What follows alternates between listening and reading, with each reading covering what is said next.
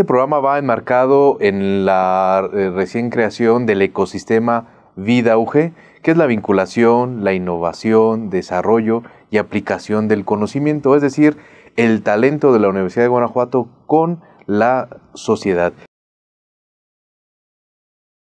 En primer lugar tenemos la cultura del autocuidado como uno de los ejes principales donde eh, eh, este, incitamos, eh, perdón, buscamos que los estudiantes, que toda nuestra comunidad tenga una, una vida mucho más saludable, haga ejercicio, se comprometa con su salud, es decir, su propio autocuidado. El segundo eje que, que me parece muy relevante es el de la cultura de la legalidad en donde pues buscamos eh, preparar a toda nuestra comunidad universitaria en este tema de la legalidad.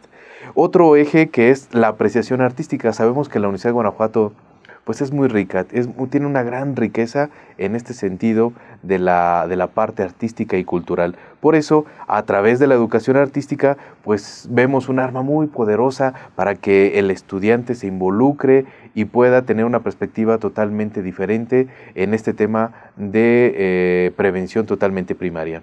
Y el otro eje es el interés por la ciencia, cuando el profesor y el estudiante se empiezan a involucrar en esta parte de la ciencia, pero con un, con un toque fundamental y esencialmente humanista, pues vemos repercutido en esta prevención primaria de toda nuestra comunidad universitaria.